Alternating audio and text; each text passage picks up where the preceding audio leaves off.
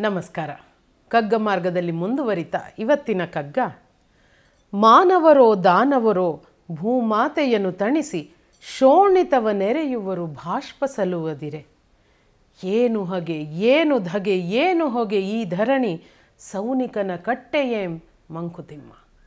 ಕಗ್ಗದ ಹನ್ನೆರಡನೇ ಕಗ್ಗ ಇದು, ಮಾನವರೋ ದಾನವರೋ, ಇವರೇನು ಮನುಷ್ಯರೋ, ರಾಕ್ಷಸರೋ ಯಾಕೆ ಭೂಮಾತೆಯನ್ನು ತಣಿಸೋದಕ್ಕೋಸ್ಕರ ಬಾಷ್ಪ ಸಲುವುದಿರೆ. ಬಾಷ್ಪ ಅಂದರೆ ಕಣ್ಣೀರು ಅನ್ನೋ ಅರ್ಥದಲ್ಲಿ, ಕಣ್ಣೀರು ಅಂದರೆ ಭಾವಗಳು ಅನ್ನೋ ಅರ್ಥದಲ್ಲಿ.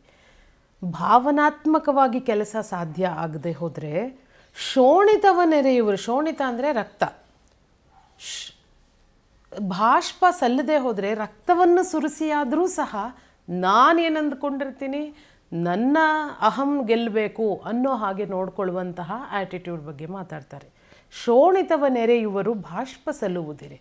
ಭಾವದಿಂದ ಕೆಲಸ ಆಗದಿದ್ದರೆ ರಕ್ತ ಚೆಲ್ಲಿ ಆದರೂ ಸರಿ ನನ್ನದಾಗಬೇಕು. ಏನು ಹಗೆ, ಏನು ಧಗೆ, ಏನು ಹೊಗೆ ಈ ಧರಣಿ?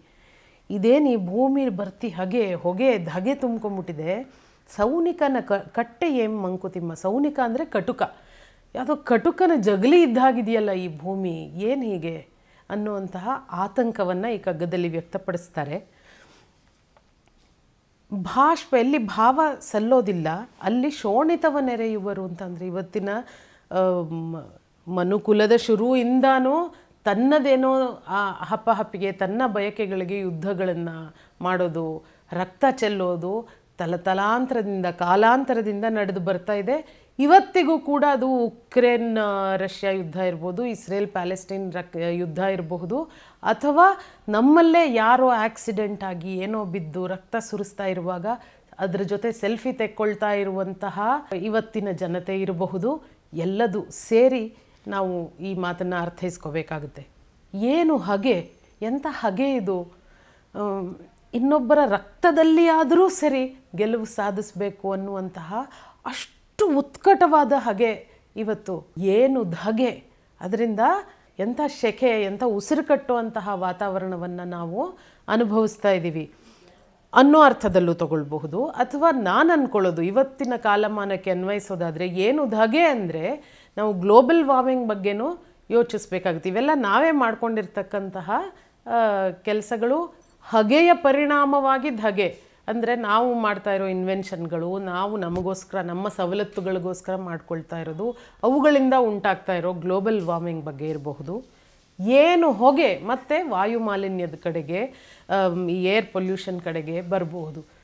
ಇವತ್ತು ನಮ್ಮ ದೇಶದಲ್ಲಿ ಎಸ್ಪೆಷಲಿ ತುಂಬ ಹೆಚ್ಚು ಜನ ವಾಸಿಸುವಂತಹ ಎಲ್ಲ ಮೇಜರ್ ಸಿಟಿಗಳು ಬದುಕೋದಕ್ಕೆ ಆ, ಅನರ್ಹವಾಗಿರುವಂತಷ್ಟು ಮಟ್ಟಿಗೆ ಮಲಿನಗೊಂಡಿದೆ, ಅಷ್ಟರ ಮಟ್ಟಿಗೆ ಅದು ತಗ್ಗೋದಕ್ಕೆ ಸ್ಕೂಲಿಗೆ ರಜಾ ಕೊಟ್ಟು ಮಕ್ಕಳು ಮನೆಯಲ್ಲಿರಲಿ ಅಂತ ಹೇಳುವಷ್ಟರ ಮಟ್ಟಿಗೆ ನಮ್ಮನ್ನು ನಾವು ನಾವು ಬದುಕುವ ಭೂಮಿಯನ್ನು ನಾವು ಮಲಿನಗೊಳಿಸ್ಕೊಳ್ತಾ ಹೋಗ್ತಾ ಇದ್ದೀವಿ.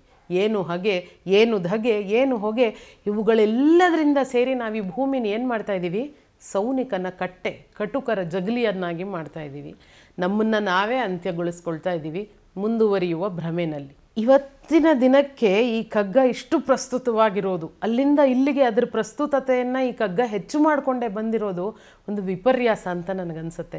ಬಹುಶಃ ಇದನ್ನು ಅಪ್ರಸ್ತುತವಾಗಿ ಮಾಡೋದು ನಮ್ಮ ಕೆಲಸ ಆಗಿರಬೇಕು. ಅದು ನಮ್ಮ ಗೋಲ್ ಆಗಿರಬೇಕು. ಆಗ ಮಾತ್ರ ಈ ಭೂಮಿಯಲ್ಲಿ ನಾವು ಹಸನಾಗಿ ಬದುಕೋದಕ್ಕೆ, ಸುಂದರವಾಗಿ ಬಾಳೋದಕ್ಕೆ ಸಾಧ್ಯ ಆಗುತ್ತೆ ಅಂತ. ಮತ್ತೊಮ್ಮೆ ಈ ಬಗ್ಗೆ ಯೋಚಿಸೋಣ. ಮತ್ತೊಂದು ಕಗ್ಗದಲ್ಲಿ ಭೇಟಿಯಾಗ್ತೀನಿ. ನಮಸ್ಕಾರ. ಅನುಕ್ಷಣದ ಸುದ್ದಿಗಳಿಗಾಗಿ Vistara news YouTube channel subscribe ಮಾಡಿ. ಹೊಸ ಸುದ್ದಿಗಳ ನೋಟಿಫಿಕೇಶನ್ಗಾಗಿ ಬೆಲ್ ಐಕಾನ್ ಕ್ಲಿಕ್ ಮಾಡಿ. Latest ಅಪ್ಡೇಟ್ಸ್ಗಾಗಿ W W W dot Vistara news dot com ವೆಬ್ಸೈಟ್ಗೆ ವಿಸಿಟ್ ಮಾಡಿ. ಅಂಗೈಯಲ್ಲೇ ಜಗತ್ತಿನ ಸುದ್ದಿ ತಿಳಿಯಲು Vistara news Kannada app download ಮಾಡಿ.